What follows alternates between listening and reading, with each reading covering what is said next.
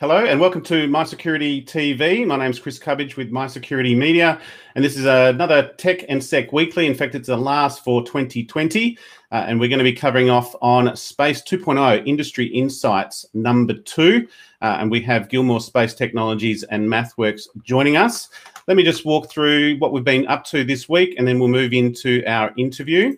Uh, for those that do follow us, uh, naturally we cover off on our four key domains aerospace and space defence and national security, cybersecurity and critical technology, and cities and infrastructure. If you happen to be watching, uh, welcome to press like. We'll be as engaging as we possibly can. Uh, let us know if you're watching and from where you might be watching anywhere in the world. Uh, and welcome and thank you for joining us. Uh, we're going to be going for about half an hour, maybe up to 40 minutes uh, with the interview. We'll see how we go, but these are two very interesting companies. So uh, I've got lots of questions for them and introducing, where are we going? Here we go. Um, we have Peter Kinne uh, with the head of sales for Gilmour Space Technologies and Stephane Marouani, uh, the country manager with MathWorks. We're going to bring them on shortly. And this follows on with this is in Industry Insights number two.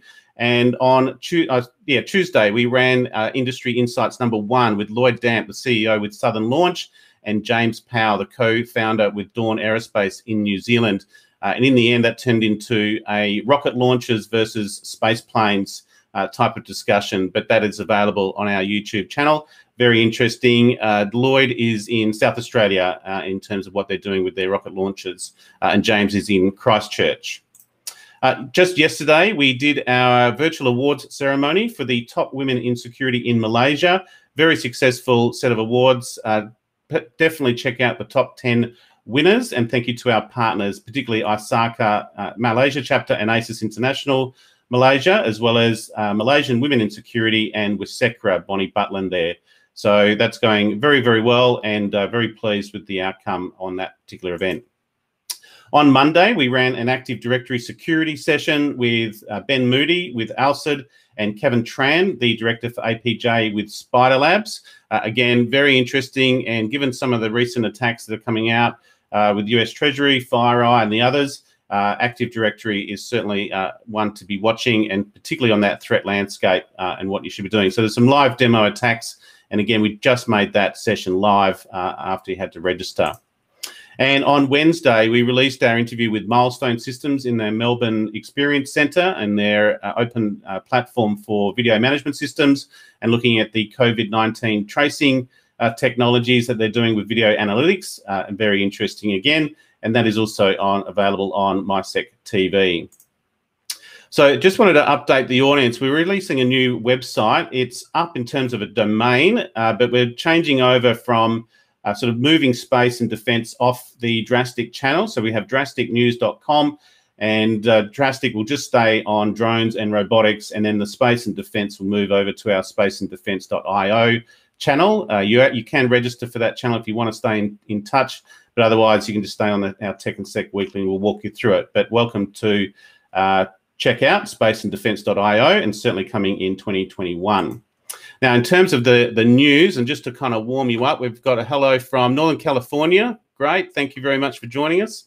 Um, the US uh, Space Command has just released. So Russia's been conducting an anti-satellite missile test in the last week or so. Uh, very interesting in terms of the militarization of space. Uh, and it's something that uh, we'll cover off into the future as well.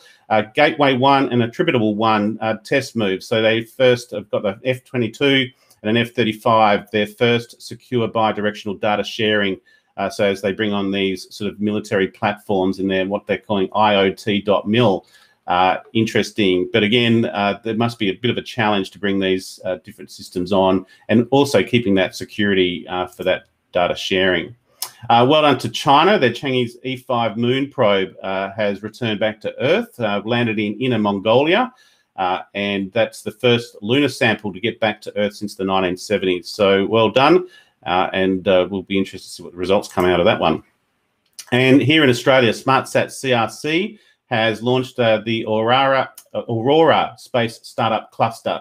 That's 65 member companies representing every part of the space supply chain. Uh, and we have uh, had the SmartSat CRC CEO, Andy Koronios, on our previous uh, episodes on our Indo-Pacific series, and we'll definitely be catching up with Andy. I hope in 2021 and find out more about that. That is that particular article there is available on drasticnews.com. So look, without further ado, uh, we've got uh, we've got at least one or two people, and we are streaming correctly. So we're ready to to bring on Peter Kinne. Uh, Peter, here you come, and let me just change my graphics over. There you are. Thank you very much for joining us, uh, and Stephane Marouani. Did I say that right, Marouani? Perfect. Yeah. Thank you very much.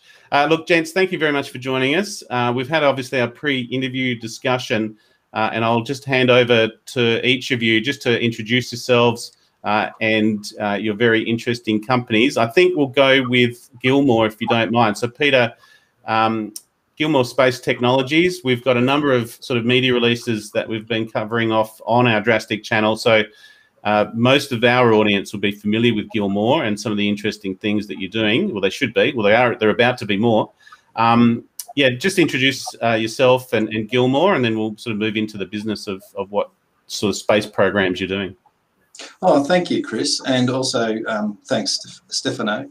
Um, look, Gilmour has been founded uh, by two brothers in Queensland, and uh, most people don't realise that we started our hybrid rocket program back in 2015. So we've been uh, since our first launch, it's been five years, and we're heading in. We're leading the sovereign rocket uh, push in Australia. So we're hoping to be Australia's leading manufacturer in, and dedicated uh, space employer.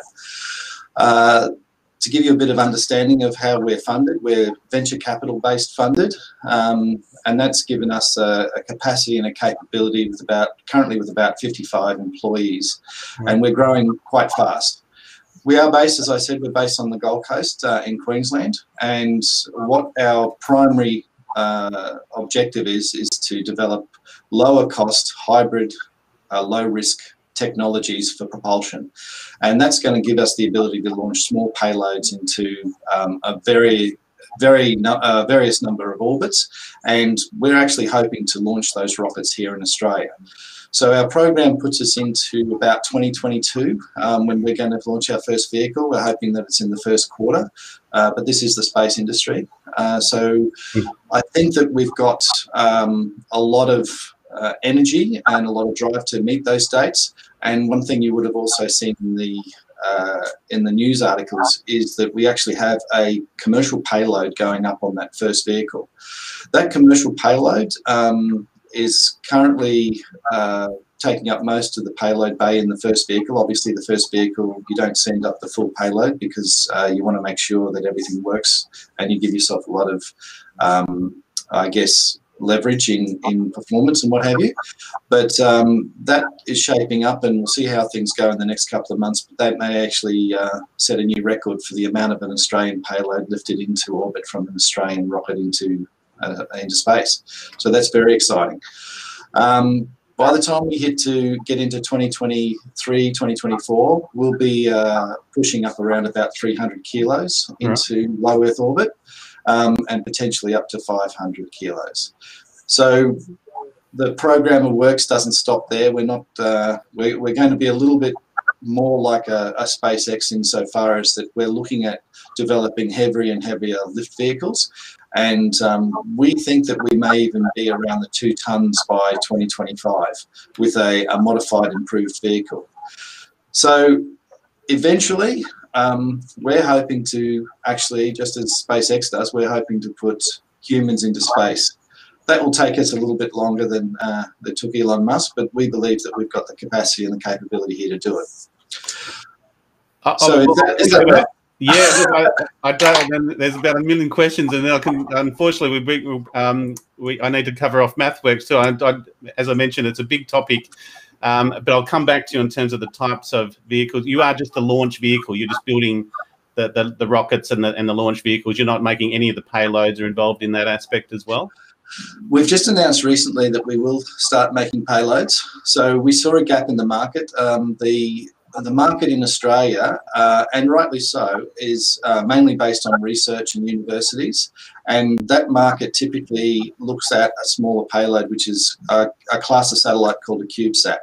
And those CubeSats have a volume of about a litre. So it's one uh, 10 centimetres by 10 centimetres by 10 centimetres is a U. And a popular design for a U goes in about 3 U's, 6 U, 12 U's. So you end up with you know, still a small, a very small satellite. Um, what we need to do to mature um, the capability of satellites in Australia is move up to a new size. And that's based on the ability to resist radiation, longevity in space, the amount of power that you need to run some of the sensors. It's very difficult to go and put an Earth observation sensor with a 50 centimeter diameter uh, mirror lens in a one centimeter cube sat. Okay, uh, sorry, 10 centimeter cube sat.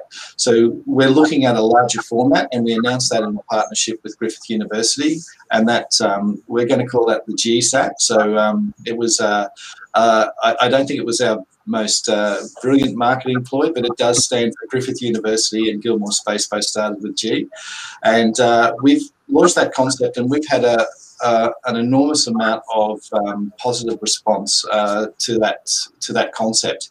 It's not developing the payload, so the payload would be the sensor or a comms package or position navigation and timing package. But what we're looking at is we're looking at um, the bus, which is the box and the um, the equipment that takes that particular sensor into orbit. So once again, it's it falls into our our our sort of our business line, which is access to space. How do we get these people access to space? And most people are focusing on their sensor, and so that fits very well within the business. There must be a heap of research, in particularly on payloads. And I'm thinking, you know, I mentioned we cover drones. I've been looking at drones for you know, a long, long, long time, a decade or plus, and it's the, always the payload to match the vehicle, and then the, the two. And I, this is where MathWorks will come in, uh, Stephane. If I think uh, country manager, obviously for Australia, I'm not too sure if you cover New Zealand as well, but maybe introduce yourself in terms of your role and MathWorks because everything in space is about weight and scale, and you know, there's a uh, velocity. There's uh, I can see with MathWorks. The moment I saw it uh, associated with space companies is like, okay, well, that's a given. So maybe introduce us to MathWorks. Most of us will be aware of it. Yeah, sure, Chris. Um, yeah, so Stephane, I'm, I'm, based here in Sydney. We have a, a, team in Australia and we're covering New Zealand as well. Uh, as Peter know, we have people in Queensland, uh, South Australia, Victoria, and, uh, and our uh, office is in Chatswood, New South Wales. Uh, MathWorks uh, is the maker of MATLAB, which I'm sure your audience know by name and Simulink. Uh, for those who don't know what is MATLAB and Simulink, we're really the foundation software for engineers and scientists to accelerate the pace of their innovation and development. Um, so, and, and it, it, covers almost all all the spectrum of engineering. Um, again, I don't know to know. I don't need to know what you guys drive every day. Um, your car has been designed and developed with our tools.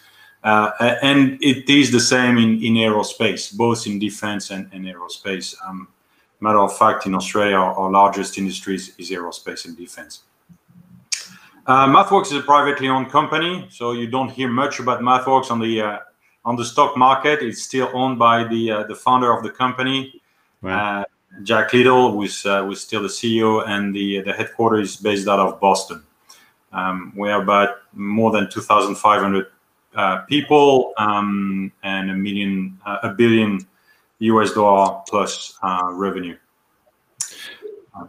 Maybe uh, one comes to mind in terms of that simulation. You're obviously advanced there. What are some of the key trends in the simulation technology, particularly sort of augmented reality and virtual reality type of environments as well? How much is going on in that space?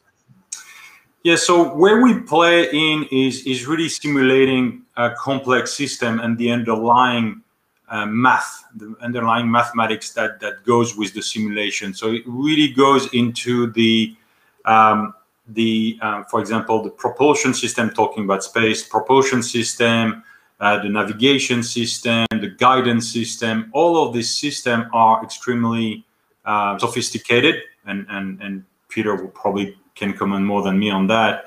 And therefore, uh, the engineers and developer cannot uh, take the risk to inject uh, errors, especially for space system. You have one shot. Yep. Uh, uh, and so simulation becomes extremely important. uh, extremely important to really simulate those systems virtually, um, um, call that digital twins these days, um, and inject uh, potential uh, problem scenarios and see how the system reacts and, and, and gets robust.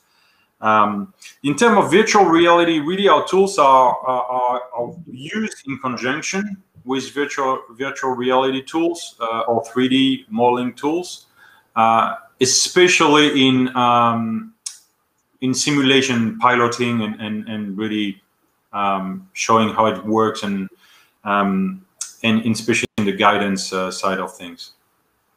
And uh, Gilmour, uh, Peter, is sort of using and, and, working with MathWorks as well. Maybe how to how what is that partnership? What is that? Uh, you're obviously using MATLABs and uh, their simulation tools as well. Yeah, so um, part of our team uses uh, the MathWorks tools. So we have to um, look at where Stephane was um, suggesting, and that is what is the areas that need the deep underlying maths. And so it depends on which division that we're in depends on which uh, or the intensity of the MATLAB and the simulation work that we're doing.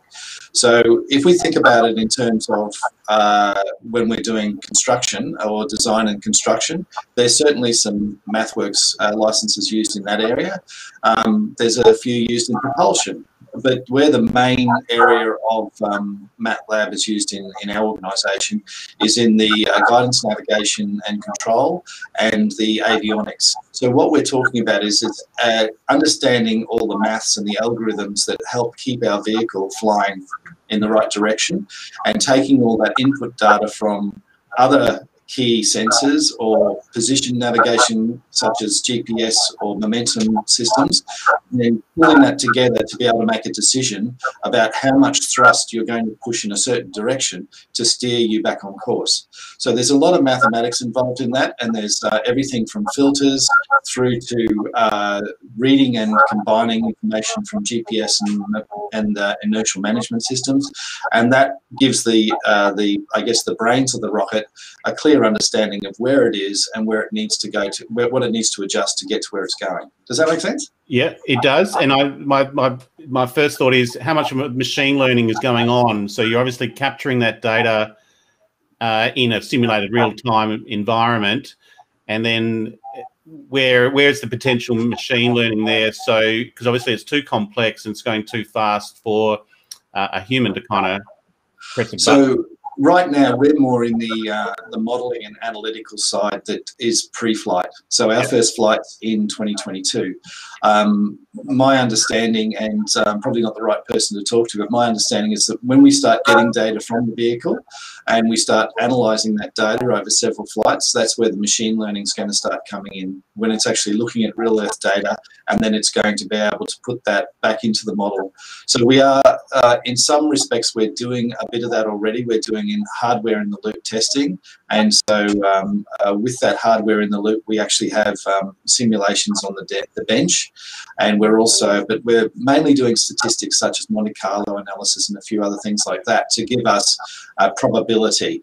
Um, the real machine learning is probably going to start when we start launching and having successful launches. And then when, we, when you have that series of um, uh, a streaming of data, which an enormous amount of data is obviously going to come through, and then we're able to go and backtrack and analyze that and get some uh, new insight into how the vehicle's performing. Are you operating in a sort of a virtual cloud environment, or are you working with sort of high performance computing on premises? How how is it working from the from the actual processing? So there's there's very little. There is some work that's being done in the cloud. Um, that's the simulation runs uh, because we can do so many more simulation runs in the cloud in a short period of time with scalable computing. Uh, most of the other work is done on prem, and uh, there will be a balance based on uh, based on the, the, the need for what what needs to be done in the cloud and what's better done on prem, and also there'll be aspects such as security and a whole bunch of things that we think that you know where is it stored on the cloud? Is it sovereign cloud? And all those sort of things have to come into it. Yeah. Um, and maybe Stephane, in terms of MathWorks, how maybe your your environment, I take it, uh, MATLABs and the like is operating in a cloud environment now um, fully, and customers can just use as much as they can, or is it a, a, set license to what they can uh, use? No, absolutely. So in uh, in the past uh, five years, we've we've invested a lot in in, in helping and enabling our clients to uh, to process algorithms and execute algorithms on the cloud. Um, so today you can you can really run on Amazon, on Azure, uh, even on um, on um, the uh, supercomputing um, facility out of ANU, for example, in Australia. Yep. So really, uh, our our engineers and scientists have a, a, a really wide range of possibilities where they want to run. Obviously, uh, obviously, when they need a lot of CPUs, um, one of our clients choose to go to the cloud uh, rather than buying their own uh, their own infrastructure. It's, uh, it's, more cost effective for them. Yep. Um, and maybe I was going to come back maybe to Gilmour in terms of your key partners. Uh, you, have recently signed a MOU with Northrop Grumman, um, and you're obviously working with some others. And I just saw on your website here uh, Momentus, uh, which is a commercial space company offering in-space infrastructure. So you've got a new agreement with them.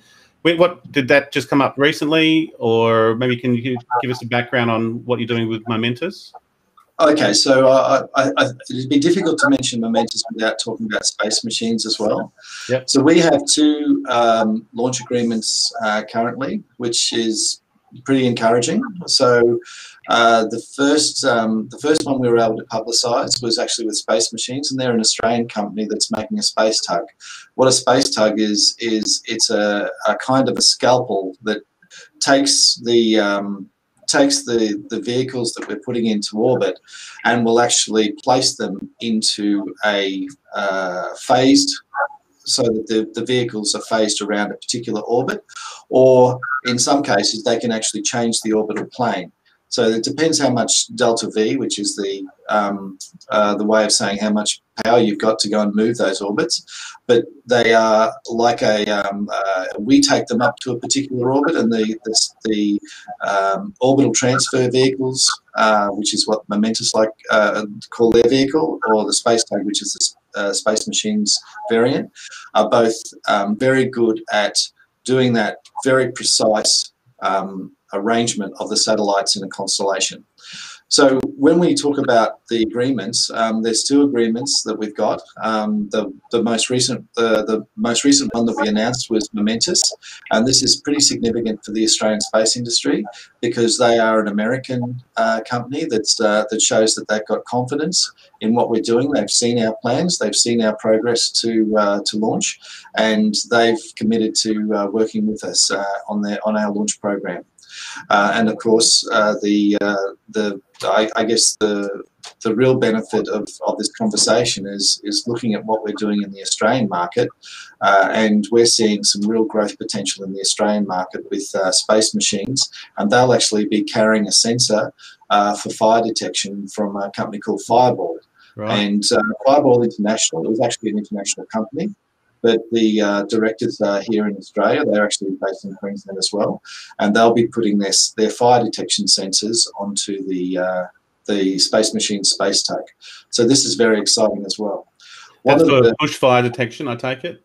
Absolutely. Yeah. So they're, they're, doing a fantastic job with um, early warning. Um, mm. Sometimes within seconds, they're being able to detect where fires are, are around the world. Um, but they're obviously focused on doing Australia and North America because those are the places that seem to make the news each year. Um, but uh, there's there's a lot of traction in that space. In terms of the the payloads, maybe let's uh, come back to Australia in terms of the launch locations. We understand there's there's been three nominated and one's in Queensland. Uh, is that where you you're going to focus on? Uh, is this going to be a bit competitive between the states, or a company like Gilmour will move around to whichever is the suitable location here in Australia?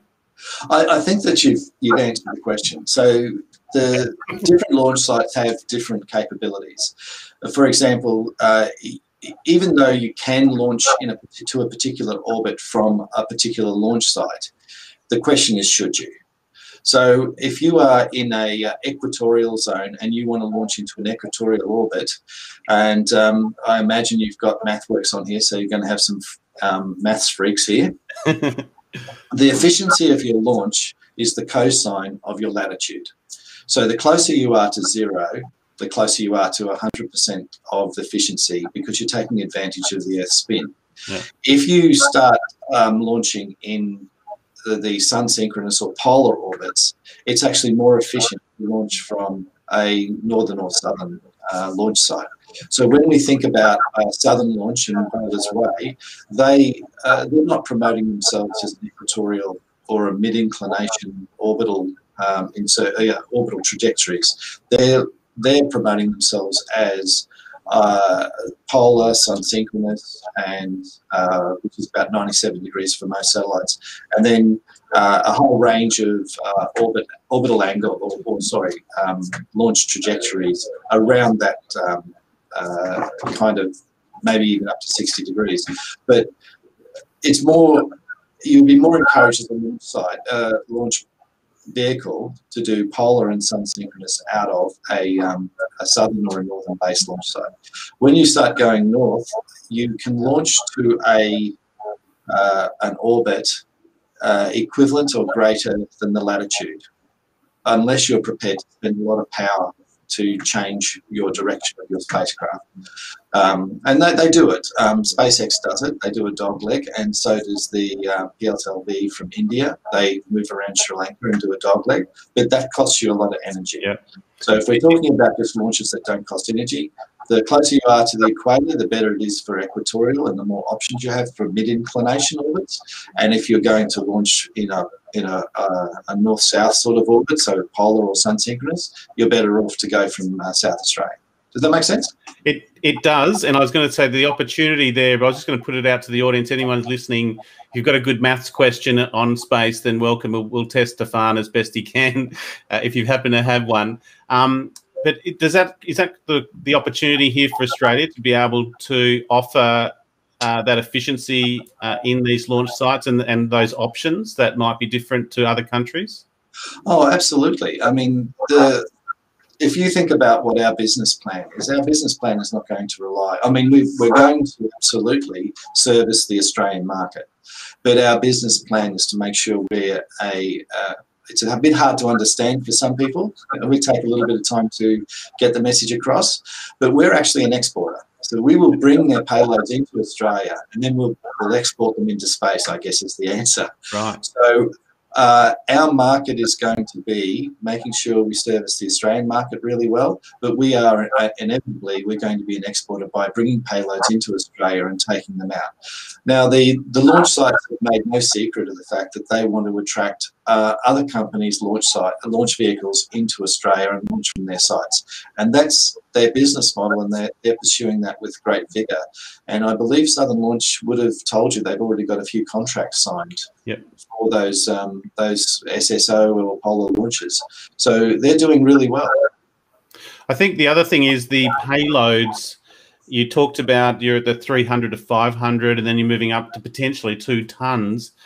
What what are those payloads? Are they are they more the you sort of start starting at um, lower Earth orbits, then mid range, and then going out to geos? Is that kind of the, the plan? So you have to um, think about it in terms of uh, what the new space is compared to old space. So, and I, I hate these Gen X, Gen Y, and millennial type we, terms. We just called it Space 2.0. So I thought it'd be higher than two, but apparently it's just two. Well, they have a definition for Space 2.0. And by the time you get to Space 4, every the economy is actually in space and doesn't have to come back to Earth. Got so uh, that's what you've got to think about. What what it actually means. There is a definition behind it. Yeah, yeah. Which is, I think, probably more realistic than the reference I made to Gen X and Gen Y. so, uh, with respect to a launch, when you uh, think about it uh, simplistically, it's one payload to one orbit. Well, reality is that's probably not going to be the case for most of our launches. We're going to have um, what's called share rides, and so we'll probably have a, a primary payload, and then we'll have a series of smaller payloads that are comfortable going to the same orbit and sharing that ride and making compromises with where they want to go perhaps or using a space tug like the ones that we've mentioned before and us getting them to a particular orbit and then the space tugs taking them to a slightly different orbit or phasing them around the same orbit. So there's there's a whole bunch of options and it's quite a spectrum of different um, possibilities when it comes to launch. When we start talking about the larger vehicle, then with 2,000 ton, sorry, 2,000 kilos to a LEO, now we start thinking about can we get to a geostationary orbit? And so GTO, geostationary transfer orbit, that orbit we can, um, it doesn't mean you get 2,000 kilos to geostationary, but we could probably get, um, you know, five to 700 ton, uh, kilos to a geostationary orbit. And that that means that we have, excuse me, excuse me, it means we have more options for different payloads. Very good, and that makes you more competitive. And then you've also got that the price. Um, we might come back just to, to finish off. I'm conscious of time on on where you you see that. We, we just mentioned um, sort of space 2.0, and you mentioned space four, and we're at kind of all the others. We might just have a we might finish off with that. And uh, Stephane, MathWorks, as you say, you're the sort of the basis of the engineering um, and and the maths going into to this science, for want of a better word. Um, where do you see the Australian market? Are you seeing growth and uptake there? Are you seeing really advanced research to what you're seeing elsewhere in the world? How would you sort of define or, or, rate the Australian market and the space industry and the and sort of the, the pace of uh, of growth?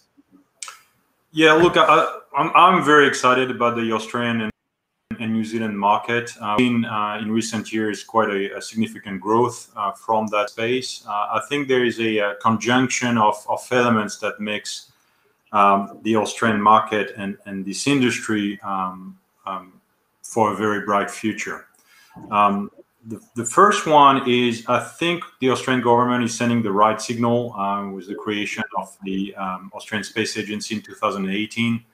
Um, I think send the right signal to the, the smaller companies that they will have access to funding, and we, we certainly saw some of these smaller startups to to be able to to really uh, kick off their business with the backing of the Australian Space Space Agency, but also knowing that they will have access to the larger organizations such as NASA or the Japan Space Agency. Um, the second element is we have our universities, and, and we, we work a lot with universities, obviously, for teaching and learning uh, engineering, but we form the best engineers in the world. And we certainly see a lot of activities with our universities in terms of space, uh, research, science, and education. Um, a lot of young engineers are quite excited to join. We have a uh, very strong uh, aerospace defense industry.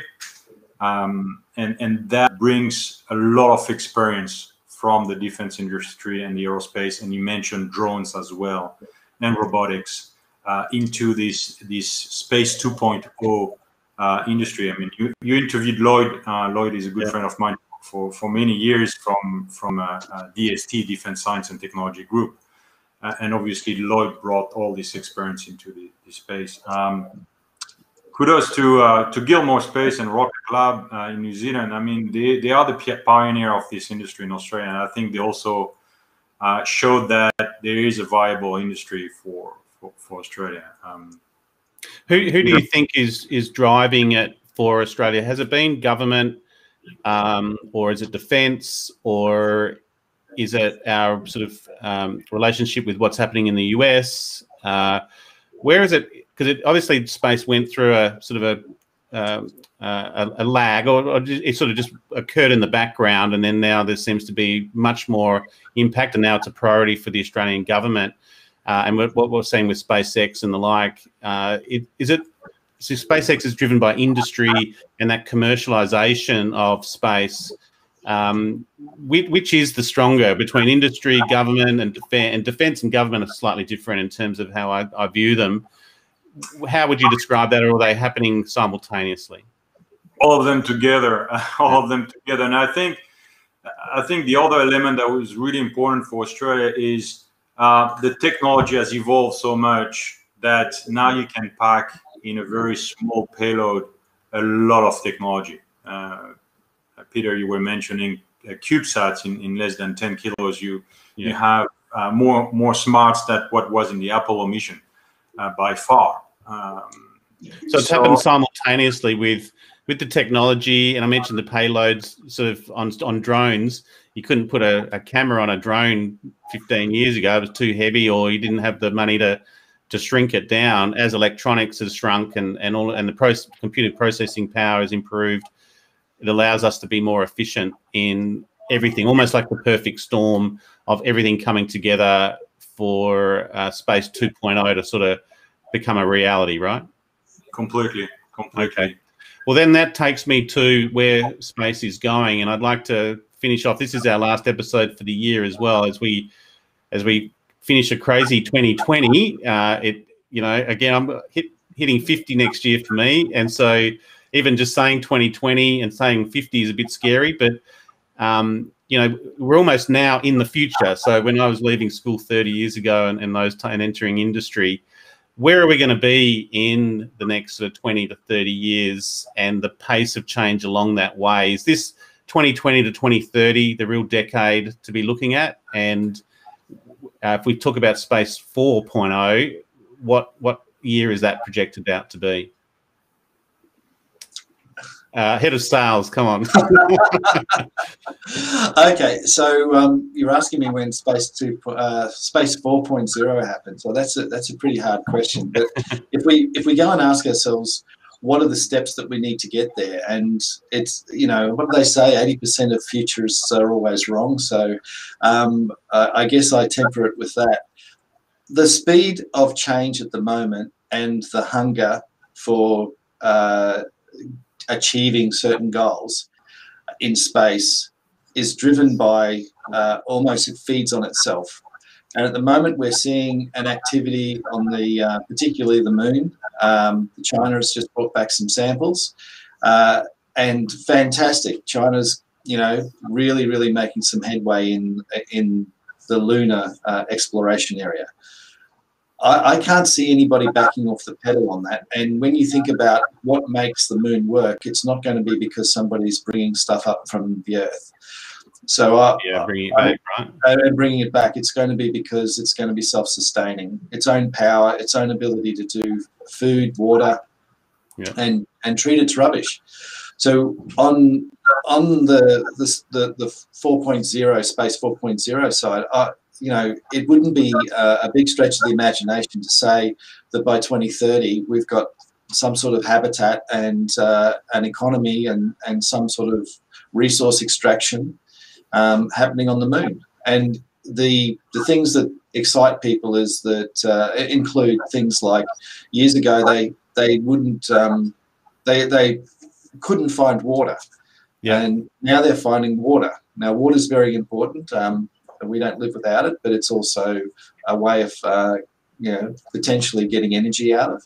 Um, there's also a big push to find minerals, uh, particularly the you know the titaniums and the things that we can put into 3D printers, yep. because we're not going to have the same. You can't just go and bring a bulldozer and a bricklayer up to the moon and start building a house. Uh, and there's a lot of work being done into how we live in these habitats in a in a particularly nasty environment because the moon is uh, doesn't have sorry the moon doesn't have any of the radiation protection. It doesn't have any of the things that we're going to find on earth. So it is a totally it is quite a difficult thing to solve yet there's so much energy and there's so much uh, activity to try and solve it and people see it as a must do now. So I really think it's accelerating, and by the end of this decade, we're going to see uh, certainly going to see um, habitation on the moon. And it is that unlimited resource. If, we, if you can access the unlimited resource, which it takes us back several generations of, of human civilization where we thought the earth was un, an unlimited resource and we can just, you know, uh, yeah, we haven't treated it well. But uh, we're obviously going to start to do that. And once we do that, um, whoever does it first, and I, this is what I'm sort of why we're covering this and taking more interest, apart from just it being very, very exciting. Uh, it is that competition with, say, the likes of the US and China. We've got India in there. Pretty much all, na- uh, nation states are in there as well.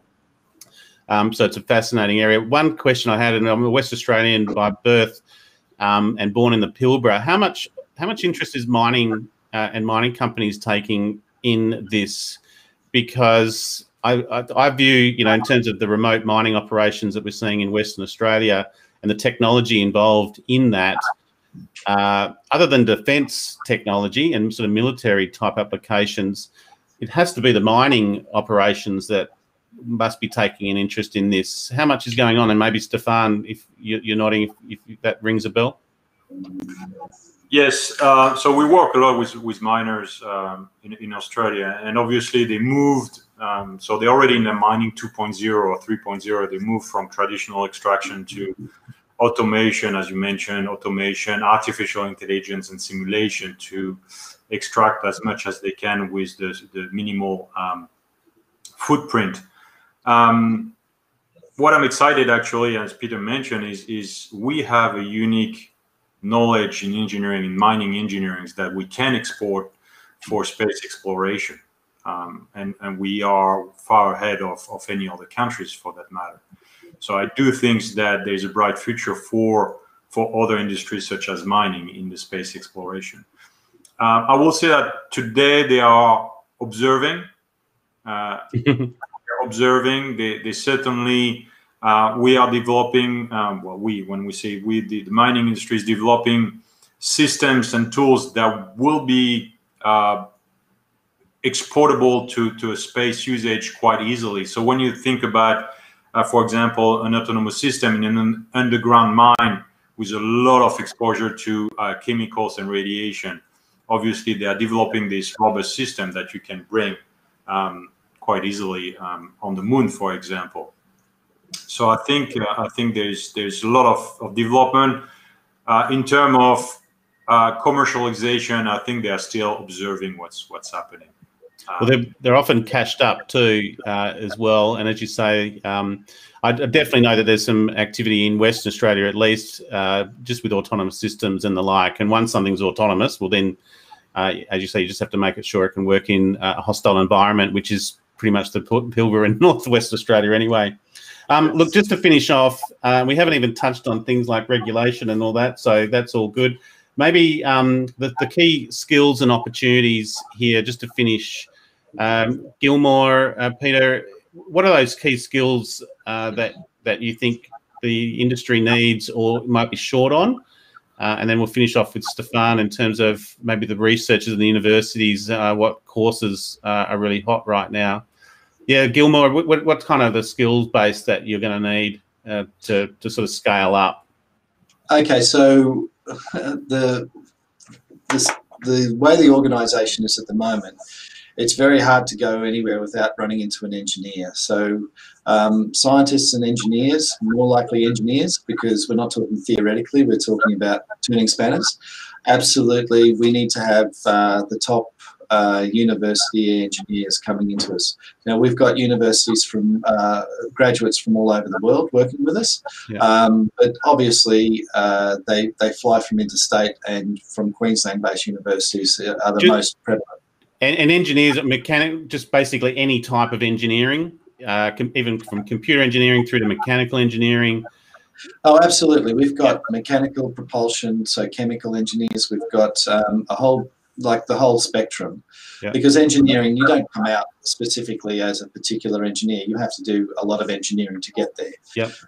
But when we scale up and when we start building, it's not going to be just engineers. We're going to have a lot of tradespeople with specialist trades. And so uh, as we start, um, uh, for example, we've got filament winders, we're going to have ablatives, we're going to have a whole variety of things that needed to be uh, assembled. Uh, we have a, a strong uh, skill set in um, you know, advanced manufacture at the moment with 3D printers right through to um, uh, CNC machines, CNC lathes. We're, we're really, our skill base, we're going to take the best engineers. We're also going to take the best tradespeople. And when you say what's the thing that's that we need to have, obviously we're going to require the, you know, we're, we're going to be the the employer of the above average engineers, obviously. Yeah. But it's going to be about passion. We've got to have the right, you know, the right attitude and the passion there for space, because we know we're doing a lot of things the first time anyone's ever done it. And, and I take it you're, you're, in that advanced additive manufacturing as well, trying absolutely. different things as well. I look, that's that's the thing you cover all aspects. Uh, Stephane, in terms of that, the sort of the research and and the sort of the courses that are available, uh, is it all there for the uh, at the moment for Australia to benefit from, or are we needing to improve in particular areas? No, I do think so. I think the Australian universities are, are top notch in terms of, of uh, research and, and education in, in the space uh, in the space uh, industry. Uh, if you look at most of the uh, most of the large universities have a have a space program, uh, yeah. but beyond beyond space or space 1.0, I mean, beyond flying the bird and so the mechanical and, and the electronics engineering beyond that, I think what we are seeing, and we're seeing universities investing in, in, in, in those domains such as robotics, autonomous systems, um, even agriculture or advanced manufacturing, yeah. as Peter mentioned. I think those will be very important for the next generation of, of engineers um, as a holistic approach to space exploration. And certainly in Australia, we, we in New Zealand as well uh, we see the universities investing in, in, in this kind of curriculum. Very good. Look, um, we're going to have to have you both on again uh, next year at some point, I'm sure. Uh, it is, and it's the other thing in my mind of we've we've put space and defence together. We are sort of we cover security, the security domain more so. I just hope defence stay out of the space and space can sort of uh, go forward. But I think uh, that's where the challenge will be um, uh, going forward for, for what we do see in space, that militarization, the geopolitics involved. Uh, so that's one of our motivations to cover that. Uh, fascinating, but uh, I also see it from the mining, as you say, agriculture. Pretty much every industry will be impacted by this, as well as the technology that comes out of that that we can apply in other industries as well. So, look, thank you so much, uh, Peter Kinne, uh, the head of sales for Gilmour Space Technologies, and uh, did I say that right, Kinne? Yeah. Uh, and Stephane Marouani, uh, the country manager for MathWorks. So much for, uh, thank you so much for joining us today. I'll put you backstage and I'm just going to finish off uh, with our well wishes for the year. But thank you so much. Uh, thank you very much, Peter and Stephane. Appreciate thank you, it. Chris. Thanks, Stephane. Thank you. Yeah. I'll send you the links. Thanks, gents. Thank Bye. Okay, so that's, let me just move this over for a second. Uh, that's pretty much it from us in 2020. Uh, the report of the day, as I normally do, uh, spearphishing. This came out from Barracuda just this morning. I don't even know it's on our website just yet. It'll be going up today. Rise in the number of business email compromise attacks, uh, up 12% of all spear phishing attacks, which was up from 7% in 2019. So BEC fraud uh, is definitely one to be watching uh, for businesses. The other one is 71% of spear phishing attacks include malicious URLs, uh, and that's uh, you know that's quite a high number. And 13% of all spear phishing attacks come from internally compromised accounts. So make sure you're aware of those accounts that you've got on your internal environment. So look, what's in store for 2021? I was going to start putting up logos. There was too many uh, to do. We've just finished off the renewal of the marketplace. There's still a few different things that we're, we're doing, but 2021, uh, we'll continue with that program. Uh, I mentioned new websites. We've got a Smart Cities Tech.io website coming, uh, and that's live. So you can at least register for these websites. Space and Defence is another one. So that takes us to about 10 channels uh, that we've got covering. We're also renewing all of our websites. Uh, the new Australian Cybersecurity magazine is up, but we're just finishing off a couple of little things on that. Uh, we're also expanding our products range on the marketplace and lining up a few more giveaways and some merchandise for next year. So we're very excited. Uh, it's been a challenging year, 2020, uh, but it's also been uh, a rewarding and productive year for us. So look, have a great Christmas. Thank you very much for joining us on My Security TV and our Tech and Sec weekly series, and we'll see you again in 2021. Thanks again.